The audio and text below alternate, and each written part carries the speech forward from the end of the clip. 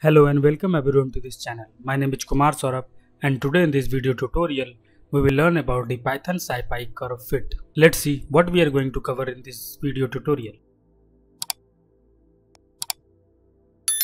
First we will know about what is a curve fit in SciPy.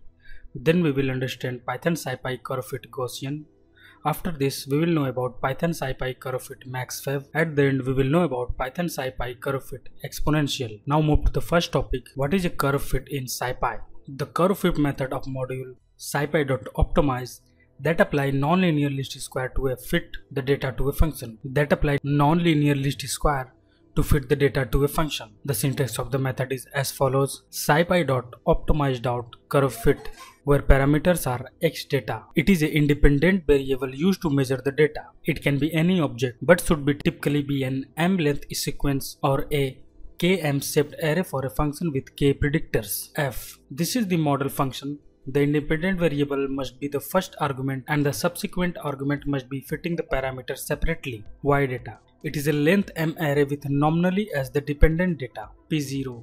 It is a parameter initial best guess. If it is known, all the starting values will be 1. Sigma.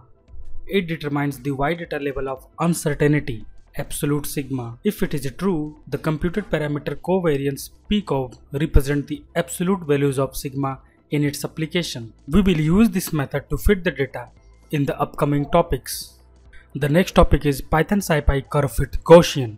The form of charted plot is what we refer to as the dataset distribution when we plot a dataset like a histogram, like a histogram. The bell curve, usually referred to as the Gaussian or normal distribution, is the most frequently seen shape for continuous data. Let's fit the data to the Gaussian distribution using the method curve fit with the help of an example. Import the required methods or libraries. So here we are importing method curve fit from the library scipy.optimize then importing numpy as np after this importing matplotlib as plt execute the code. Now create a xy data using a python list. Execute the code. To make a use of numpy array useful capabilities convert x data and y data into them. Execute the code. Now create a gaussian function with parameter x a and b where y is equal to a into np.exponential which contains the expression minus 1bx square. Execute the code. Now fit the data to Gaussian function and extract the required parameter values. So here we have extracted these values fit a and fit b and pass this value to a to a function Gaussian fun. Execute the code. Now plot the distribution using this code. Execute the code. From the output, we have fitted the data to Gaussian distribution approximately as we can see in the picture. This is how to fit the data to Gaussian distribution using the method curvefit. The next topic is Python SciPy curvefit maxfev. The method curvefit of Python SciPy accepts the parameter maxfev that is the maximum number of a function calls. When we fit the function to a data without initial guess, it shows an error optimal parameters not found number of calls to a function has reached the max fev equal to 600 that means the function is called 600 times and didn't find any optimal parameter. So here in this topic we will take an example. First we will see about this error. Then we will increase the value of max fev to see if it finds the optimal parameters. Import the required method or libraries. So here we are importing module optimize from the library scipy then importing numpy as np execute the code. Now here we have specified some data that are similarly spaced in time and a range of temperature in the hope that they would fit the exponential that resemble a charging capacitor. In addition to defining error bars on the temperature values, we have taken this area of temperature and, and added some random noise to it. Execute the code. Now fit the data using method optimize.curvefit. Execute the code. As we can see, the code didn't run and look at the resulting error. Optimal parameter not found.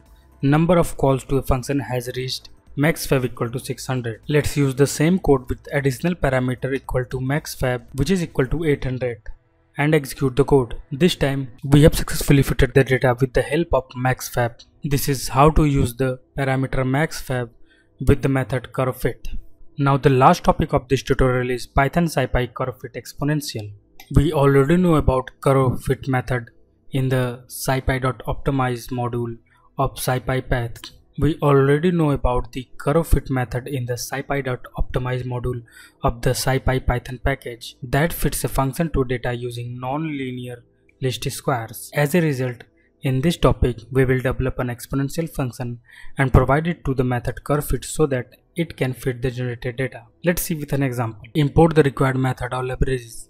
So here we are importing numpy np, then importing matplotlib as plt. After this, importing module optimized from the library scipy. Execute the code. Now create an exponential function like this. Execute the code. Now use the code to define the data so that it can be fitted with the noise.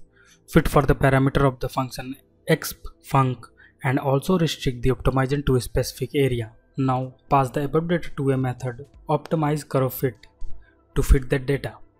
Execute the code. From the output we can see that the fitted data to an exponential function using the method curvefit. This is how to fit the data to an exponential function using the method curvefit. Before we end this tutorial, let me tell you that we have detailed post about Python SciPy curvefit on the website pythonguides.com.